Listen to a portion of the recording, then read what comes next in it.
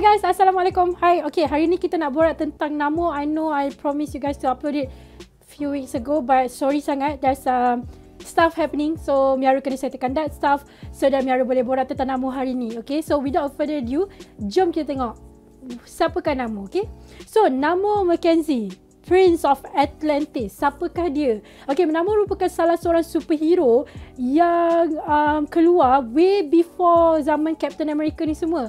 Okay, the first issue yang dia keluar masa Timely Comic. Okay, sebelum Marvel Comic, uh, kalau kita tahu sebelum World War um, dalam er, dalam zaman 1940 macam tu Marvel sebenarnya dulu iaitu Timely Comic okay? So Namo dan the first Human Torch okay? Original Human Torch we're not talking about Johnny Storm. Uh, we're talking about uh, the original Human Torch yang bersama dengan Namo okay? So kita nak borak tentang the first one of the first superhero dekat dalam Timely Comic one of the first anti-hero dekat dalam comic history one of the first mutant Okay. Bukan one of the first mutant tetapi salah seorang uh, karakter yang dikatakan dia adalah mutant. Okay, kenapa dia mutant? Kita kena tengok origin dia lah, okay? So, Namo uh, pada tahun 1939 dia punya isu keluar dan kita tahu Namo ni uh, lahir daripada dua race yang berbeza iaitu race Atlantis dan human sebab Prime Minister uh, UK masa tahun 1915 dia menghantar this one guy Ernest untuk pergi ke Antarctica untuk dapat this thing iaitu vibranium. So kita tahu dekat dalam Marvel um, penuh dengan vibranium. Eh, penuh dengan vibranium. So uh, Ernest dia punya perjalanan untuk ke Antarctica tu tak bawa balik khabar. Rupa-rupanya kapal orang terkandas dekat Antarctica dan orang pun mati dan selepas itu dia menghantarlah this one guy okay iaitu Mackenzie untuk ke Antarctica untuk mencari kapal expedition um, Ernest ni Okay. So, bila dia jumpa kapal Ernest dekat Antarctica, dia tengok yang okay, kapal dia tenggelam uh, di di selaputi dengan ais. So, orang decide untuk using a explosion untuk menghancurkan di ais dan bila orang letak explosion di atas ais tu, bila ais tu pecah dekat bawah, yang orang tak tahu sebenarnya dekat bawah tu adalah Atlantis. Ada orang ataupun ada race yang duduk dekat bawah tu. Orang terkena lah efek gegaran tu sampaikan beberapa orang uh, Atlantis terkorban. Uh, dan dekat itu ketika itu Datuk Namo iaitu King Tako decide untuk hantar uh, few Atlantean tu naik ke dasar untuk tengok apa yang jadi. So mak Namo iaitu Princess Fan anak kepada King Tako sendiri cakap tak apalah let me just go. So dia pergi sorang-sorang naik kapal um, Mackenzie tadi dan dia jumpa dan dia ditangkap dan dia jumpalah Mackenzie ni okay so bila Princess Fan dekat atas kapal she learn about human she learn about us uh, macam mana kita hidup cara kita hidup macam tu so um, bila Princess Fan belajar benda ni, dia jatuh cinta lah dengan Mackenzie because they spend a lot of time together learning about each other races. And now, um, Princess Fan um, Diorang bercinta dan Princess Fan pregnant. So bila dah terlalu lama Princess Fan dekat atas kapal Mackenzie tu, Kintako macam pelik lah kenapa anak aku tak balik ni. So dia hantarlah Atlantean naik ke atas dasar dan mengambil Princess Fan kembali. Dan dekat dalam masa pergelutan di antara Atlantean versus uh, Mackenzie punya kru, Mackenzie terkorban. Uh, Princess Fan dibawa pulang ke Atlantis dan melahirkan anak yang di, anak lelaki dan salah so, uh, hanya seorang tahta pemegang tahta kerajaan Atlantis iaitu Namor. Okey, maksud Namor tu iaitu Avenging Sun. Okey. So, masa lepas Namor dibesarkan duduk dekat Atlantis, he knows he's the prince of Atlantis. Around 90 around 1940, dia perasan yang ada surface dweller. Okey, surface dweller ni orang yang macam dual dekat dasar dan dia nak tengok siapa dia orang ni kan? Siapakah orang yang masuk ke kawasan Atlantis dan nak buat kacau? So, bila Namor pergi ke dasar, he found out that itu sebenarnya Nazi. So daripada situ, Marvel decide untuk uh, membawa nama tu outside adventure dan dia bertemu dengan The Invaders. Okay, Invaders ni merupakan the OG lah sebelum Avengers.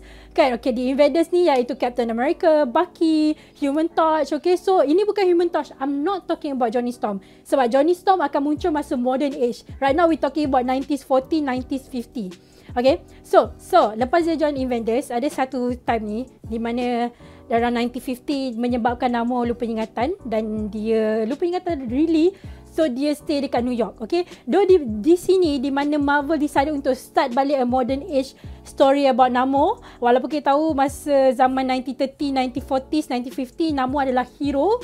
Tetapi pada tahun modern age ni Marvel decided untuk start uh, to see to portray Namor as a villain.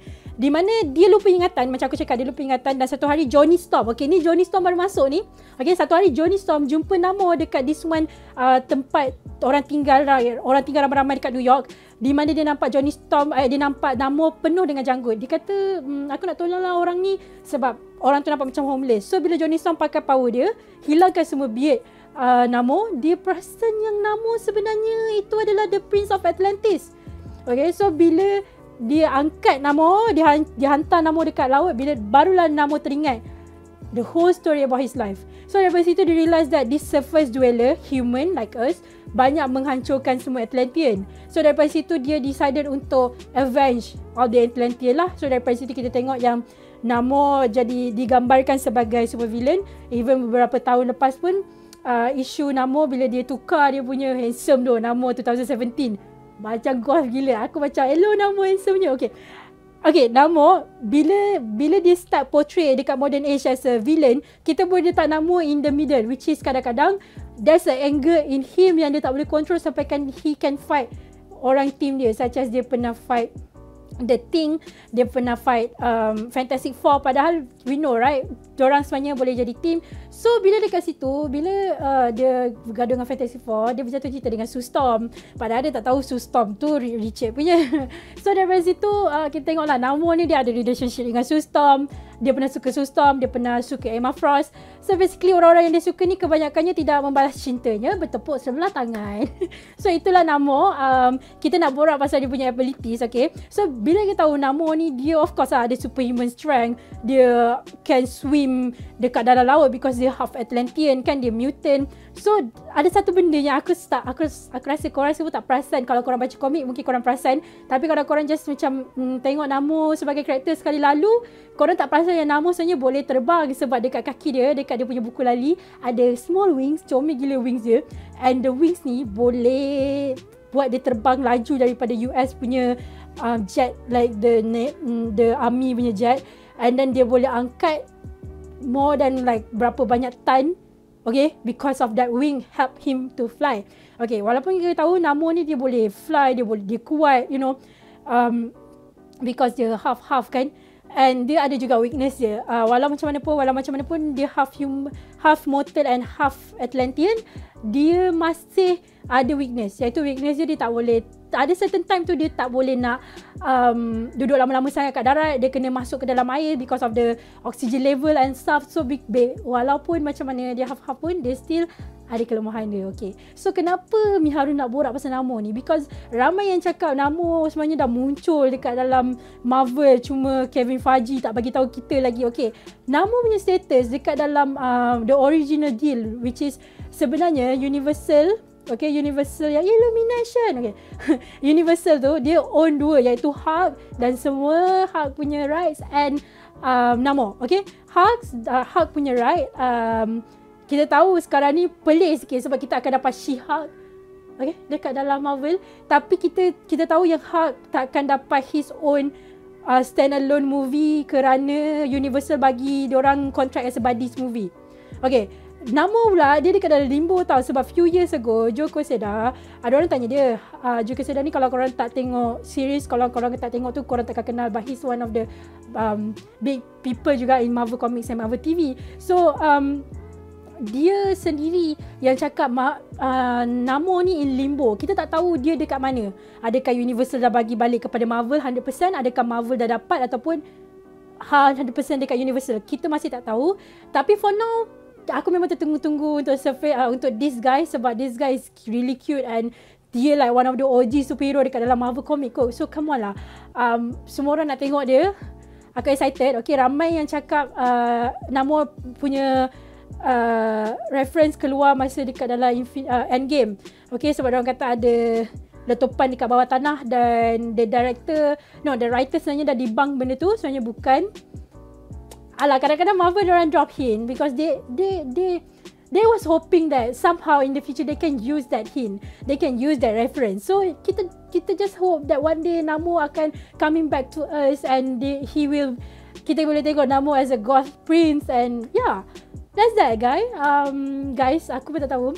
It's been a while since aku juga ada pakai kamera I hope you guys are okay.